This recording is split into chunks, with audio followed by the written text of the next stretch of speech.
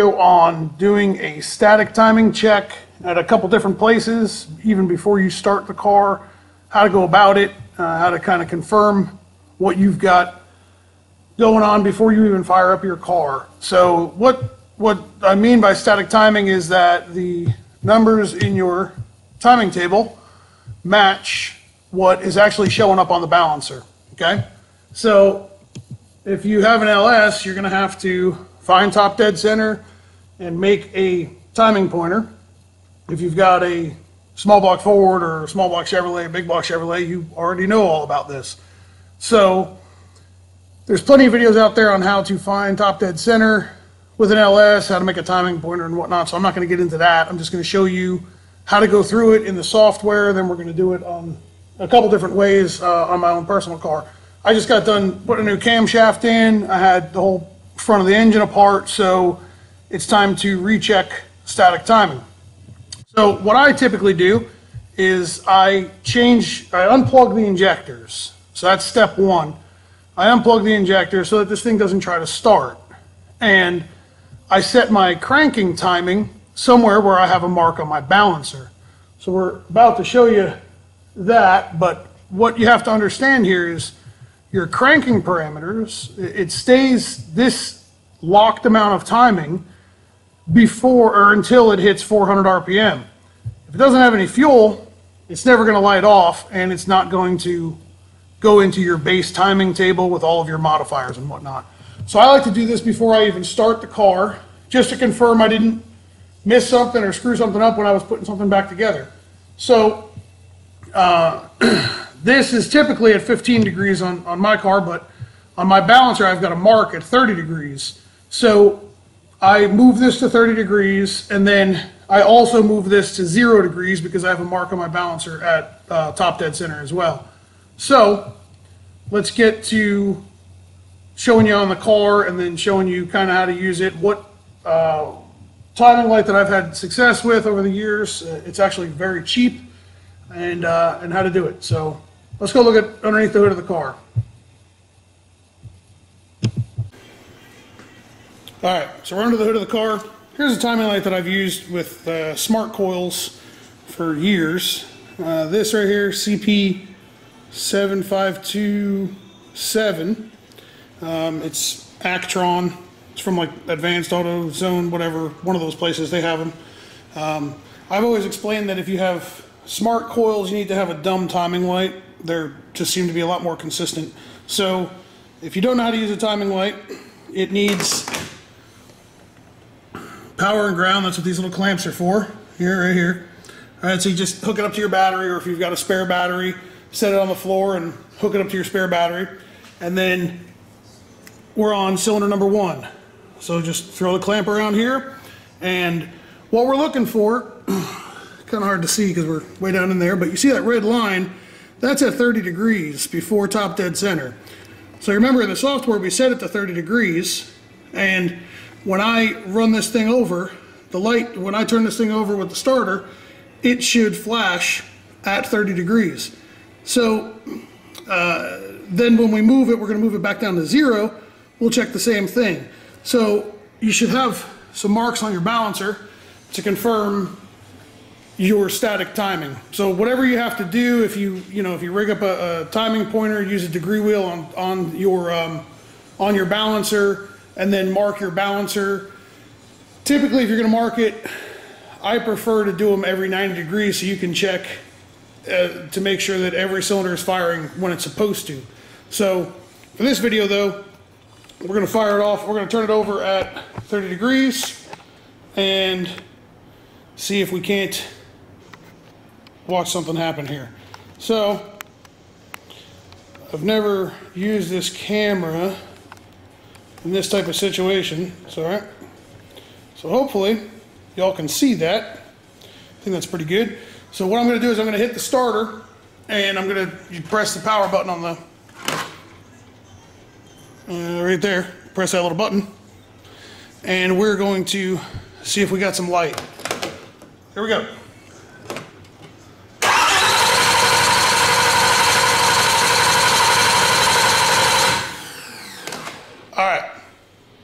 So that was on the money. So let's go back over to the computer and see if we were off how to make those adjustments. Be right back. All right, so we got it to fire off at 30 degrees, but if we were off, what we need to do is offset timing, right? So what you would do is go into your ignition type, configure. This is a, uh, a 12 minus 1 wheel that I have in here, and it's offset by uh, negative 8 degrees. Okay. So this is a different video to show you how to set this up, but it's very similar to a 36 minus 1. Um, you know, you just choose type of 12 minus 1 and then uh, what, what tooth number you are. So if you were off by 4 degrees here while cranking, you can offset it here. Now cranking is literally, I use cranking literally just to get me in the ballpark because once you fire it up, it could drift a little bit and you're more concerned about what the timing is at RPM, you know, at a few hundred, a few thousand RPM. So what we're going to do is this is where you would make your adjustments, right? So you can either subtract or add um, a timing number here for reference. But now that we know we're we're spot on at idle, uh, I'm going to fire, or I'm sorry, spot on at cranking. I'm going to fire it up. We're going to get this thing to uh, to idle, and then we're going to uh, shoot the balancer again while it's idling, and then we're going to free rev it a few times and confirm inductive delay is correct. So let me open up some doors in the garage and I'll fire this thing off. Hang on a sec. All right, it's a little loud in there, but what I'm going to do is I'm going to hold the camera up. I'm going to show you uh, while we while we're checking timing and, and why it's bouncing around. I'm going to explain to you once I you know, shut the car off uh, how to actually do a, a real static timing check. So a lot of you guys will fire up your cars, you'll put a timing light on it, and it moves all over the place. You don't understand why. So I want to show you this in a video and then show you how to fix it um, so you can actually check. So this car's a little loud. Uh, my eyes are burning a little bit, so just kind of bear with me. And I'm going to show you here on video. So you won't be able to hear me talk, but you'll be able to at least see.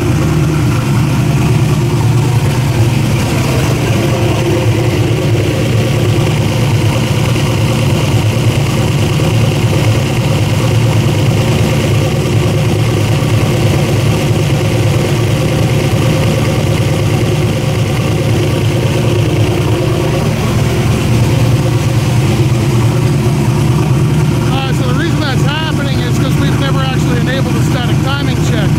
So I'm going to show you here in a minute. I'll shut the car off and, and we'll show you how to enable a static timing check. Then we'll look at the balancer again. Then we'll check inductive delay. So give me a sec. We'll be right back. All right. So in that last part of the video where we had the car running, uh, we noticed that the balancer was showing timing numbers kind of scattered all over the place at idle. So there's a few reasons why you'll see that if you do not enable a static timing check. I get a lot of you know messages and questions about this as to why does this thing show me crazy numbers at idle. Uh, I'm going to show you why. I, I prefer to show you guys the wrong way first and then the right way so that you, most people learn a little bit better from their mistakes. So uh, we did this intentionally to show you it bouncing all over the place, and here's why. So here's your here's your timing table, right? Here's your base spark table, and there's values all over the place in here. So we're not as it's moving around from cell to cell, it's going to start moving around. The second contributing factor is idle spark. So if idle spark is enabled, it's going to either add or remove timing to try to keep with this desired idle speed RPM. So you're going to see large swings, typically up to eight degrees uh, positive or negative, in order to try to hunt this this value, right? And then with my car, I have an advanced table doing a little bit something else to it at idle, but that's why we saw some pretty big swings. So what we're going to do is we are going to get ourselves away from all those those modifiers, right? So here, your your idle spark, uh, another spot that you'll have a modifier. This car doesn't, but timing versus coolant temp or timing versus manifold air temp. If this is at uh, you know minus 14 degrees here, it's going to offset and, and move around and based off of actual coolant temp or manifold air temp.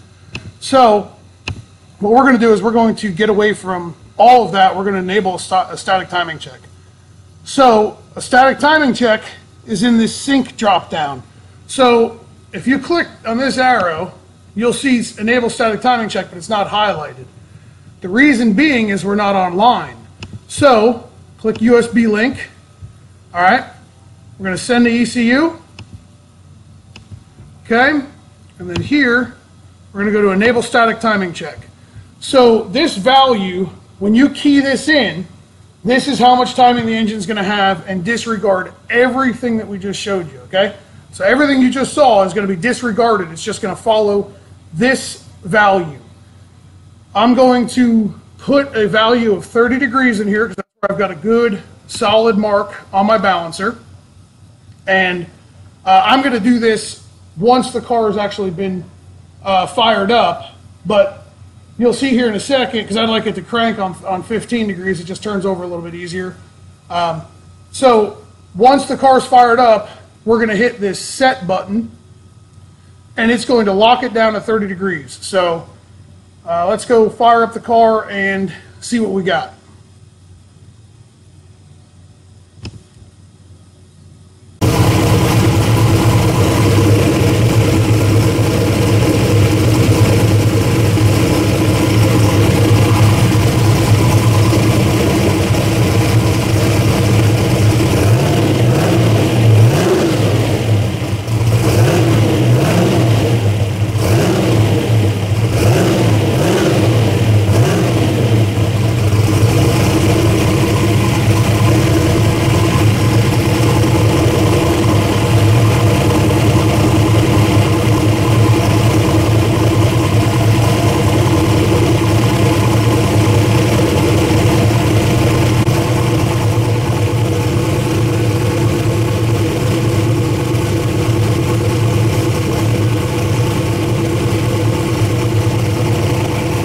All right, so you saw we had a uh, static timing value of 30 degrees. It was rock solid at 30 degrees on the balancer.